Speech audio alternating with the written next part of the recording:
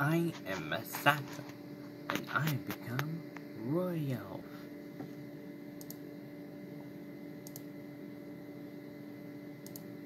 When you see these mummies at night, they try to scare us in the Pyramid of Giza. Onto the treasures, I say.